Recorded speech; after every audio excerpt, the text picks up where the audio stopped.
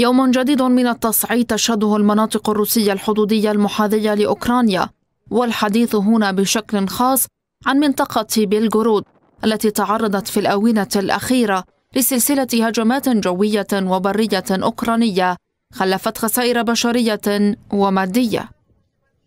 السلطات الروسية قالت الأربعاء إن المنطقة الحدودية تعرضت لقصف أوكراني جديد خلف قتيلا وجريحين إضافة لأضرار في الممتلكات الخاصة.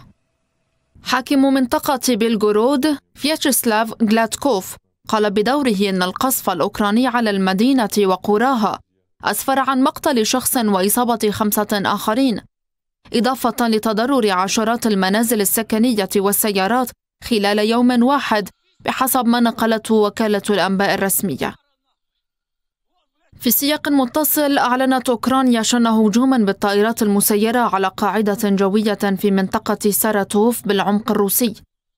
مصدر بالمخابرات الأوكرانية قال أن طائرات مسيرة تابعة لوكالة المخابرات العسكرية هجمت قاعدة إنجلز الجوية في عمق الأراضي الروسية في وقت مبكر من يوم الأربعاء وأن كييف تعمل على تقييم الأضرار.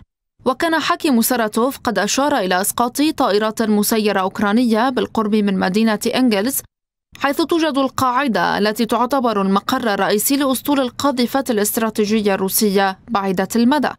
الهجمات الأوكرانية تزامنت مع قصف روسي طال مدينة خاركيف شمال شرقي أوكرانيا حيث أعلنت الشرطة هناك مقتل ثلاثة أشخاص وإصابة سبعة آخرين. إثر استهداف مبنى من ثمانية طوابق ومصنعا وفق ما نقلته وسائل أعلام غربية. وكثفت روسيا وأوكرانيا في الأسابيع والأشهر القليلة الفائتة من هجماتها المتبادلة التي خلفت عشرات القتلى والجرحى بينهم مدنيون من البلدين.